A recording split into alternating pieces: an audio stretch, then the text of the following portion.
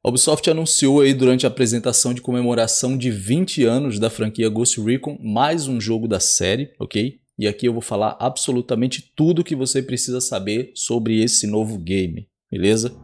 Vamos que vamos.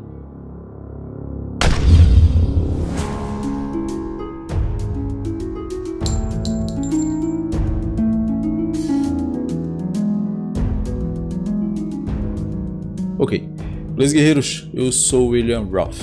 Hoje eu vou trazer para vocês aqui absolutamente tudo que você precisa saber sobre esse novo jogo free-to-play da Ubisoft aí ambientado no universo de Ghost Recon com um estilo totalmente diferente do que tinha sido explorado até agora na franquia, que é um Battle Royale, né? O jogo está sendo desenvolvido pela Ubisoft Bucareste desde 2018, então isso meio que confirma aqueles rumores que estavam rolando aí há um tempo atrás de que a Ubisoft Bucareste estava desenvolvendo alguma coisa relacionada a Ghost Recon. Inicialmente ficou só nos rumores mesmo e tal, inclusive eu até cheguei a trazer aqui no canal, mas aí agora eles decidiram revelar mais detalhes e meio que se confirmaram os rumores, né? Eu vou falar aqui sobre todos eles, beleza? Mas antes, não esquece de curtir, compartilhar e se inscrever no canal, caso seja novo por aqui, claro. Você gosta da franquia Ghost Recon, então você está no local exato, guerreiro, beleza? Vamos que vamos. Então, senhores, uh, Ghost Recon Frontline pegou todo mundo de surpresa aí, a verdade é essa, né? Acho que ninguém na comunidade de Ghost Recon tinha pensado nessa possibilidade, mas a verdade é que a gente sabe que já existia, né, o interesse da Ubisoft em querer emplacar um novo Battle Royale, principalmente depois do fiasco que foi Hyper Escape. Então, olhando por esse ponto de vista, acho que não foi uma surpresa tão grande assim. O game ele vai se passar numa nova ilha chamada de Drake Moor. É claramente um mapa baseado no mapa de Aurora de Ghost Recon Breakpoint. Basicamente uma edição ali, né? Pegaram o mapa e, enfim, mudaram algumas coisas. Esse mapa ele vai suportar até 100 players, sendo que cada squad, no caso, vai ter até 3 jogadores divididos em classes ali e tal. Aquele esqueminha que a gente já está acostumado a ver. Nada muito diferente do que a gente tem visto em outros games do tipo. Mas a Ubisoft ela promete um Battle Royale um pouco diferente, exigindo ali um pouco mais de planejamento, de estratégia e até de furtividade também para poder alcançar os objetivos, que, segundo os próprios desenvolvedores, os objetivos eles podem ser alcançados das mais diversas formas, até por isso tanta estratégia né, a gente vai poder utilizar. O game ele promete ser mais tático que outros Battle Royale. Isso é uma boa notícia, diga-se de passagem, viu? Mas se a gente levar em consideração que o objetivo do game é a extração, a gente pode pensar até que seria possível iniciar e terminar o modo né, sem dar um único tiro. Será que é possível? Eu acho que partindo da premissa do game, eu acho que até seria possível isso. Então realmente o foco não é sair matando todo mundo, o foco é ser mais tático mesmo. Lógico que se alguém aparecer pela frente, bala, né?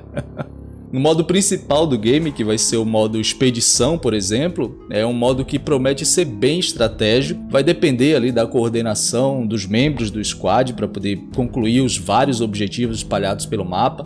Os objetivos eles parecem que vão ser meio aleatórios, assim eles vão aparecendo dependendo da partida. É, eu imagino que seja algo bem no estilo de alguns objetivos da Ilha Golem hoje no Ghost Recon Breakpoint, ou seja, objetivos que vão depender de ações conjuntas, coordenadas, né? Como acionar alguns interruptores em diferentes posições ao mesmo tempo alguma coisa desse tipo, ou então destruir determinados objetos ou locais dentro de um limite de tempo, sei lá, 30 segundos para poder destruir três locais diferentes. Então cada um tem que ir numa direção para poder conseguir destruir aquilo. E aí na sequência, claro, o squad todo vai para a zona de extração para poder sair do mapa em segurança, né? Bem no estilo The Division, né? DZ ali e tal. Depois que finaliza todas as operações, todo mundo corre ali para a área de extração e todo mundo cai fora. Mas antes de conseguir ser extraído, rola todo aquele caos ali, né? Me lembrou inclusive o modo Mercenaries de Ghost Recon Wildlands, que hoje em dia vive as moscas aí, né, a gente sabe,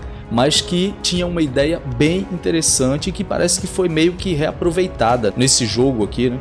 Só lembrando que, além desse modo, o game também vai ter modos mais casuais, voltados aí para os guerreiros que quiserem uma coisa mais mata-mata numa arena, uma coisa mais descompromissada e tal. Pô, maneiro também, né?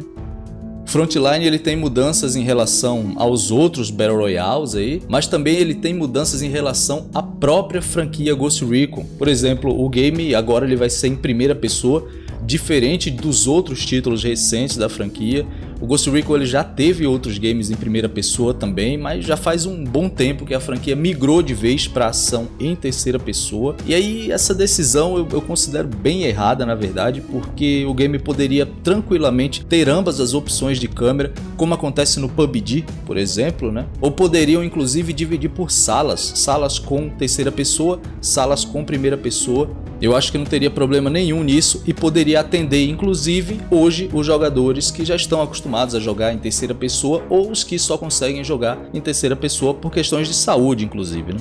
O game ele teve um anúncio bem complicado porque os fãs definitivamente não esperavam esse tipo de jogo na franquia. E aí, nada contra os Battle Royales, ok? Eu gosto de alguns, inclusive, como eu já falei agora há pouco do PUBG. Até acho que não teria problema nenhum de ter um Battle Royale na franquia Ghost Recon.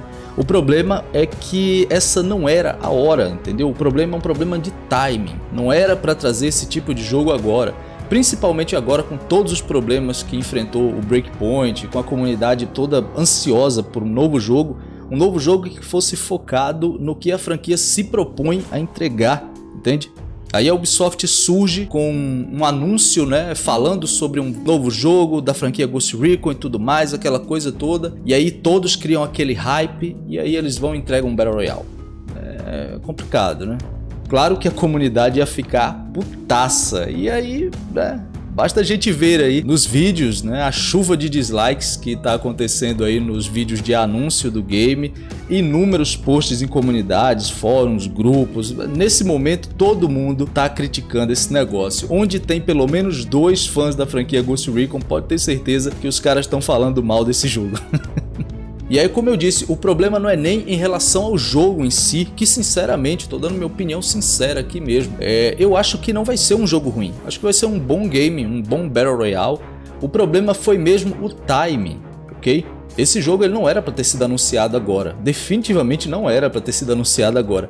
Lembra do anúncio de Diablo Immortal para celulares? Quando toda a fanbase da franquia Diablo esperava pelo anúncio de uma sequência para o Diablo 3, para os consoles, para PC e tudo mais, como já acontecia normalmente. Pois é, eu lembrei exatamente disso. Não teria problema nenhum da Blizzard anunciar um novo Diablo para celulares e tudo mais, mas aquela não era a hora. Eles poderiam tranquilamente ter anunciado o Diablo 4 e aí depois eles anunciavam o Diablo para celular. Tranquilo, ninguém ia hatear esse negócio. Mas não, tá todo mundo lá esperando um jogo e eles vão e anunciam outro que o pessoal definitivamente não quer. E aí o hate é automático. Só lembrando que Ghost Recon Frontline ele vai ter crossplay, então ponto muito positivo aí, né? Ou seja, todo mundo vai poder jogar com todo mundo, independentemente da plataforma, seja PC, seja console, enfim, todo mundo vai poder jogar junto. Ele vai ter um sistema de temporadas também que vai adicionar mais conteúdo ao game, novos mapas, novas armas, novas classes, enfim, a gente já está acostumado a ver isso nesse formato também. E ele já vai ter inclusive um beta fechado disponível a partir do dia 14 de outubro, ok? Então fique esperto aí.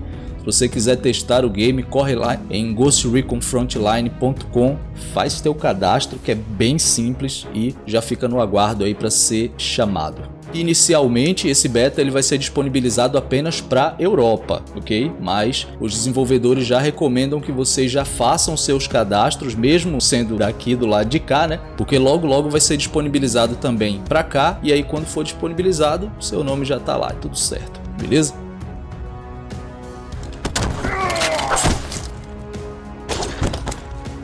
Quero saber a opinião de vocês. Deixem aqui nos comentários o que é que vocês acharam desse novo game aí. O game dividiu bastante a, a fanbase. Quer dizer, eu acho que na verdade nem dividiu, né? Acho que o pessoal meio que concordou que não era a hora de chegar isso. Tava todo mundo esperando um outro tipo de jogo e aí a Ubisoft vai e dá uma dessa. Enfim. Mas digam aí se vocês vão dar uma chance a ele ou não. Enfim, comentem aí embaixo, beleza? Sigam-me aí nas redes sociais para ter mais informações sobre Ghost Recon Frontline e sobre a franquia Ghost Recon de uma forma geral. Esqueçam de curtir, compartilhar o vídeo e se inscrever no canal, caso sejam novos por aqui. Se quiserem ajudar ainda mais com o trabalho que é desenvolvido aqui, então tornem-se membros, tudo certo? Forte abraço a todos, foco na missão e até a próxima.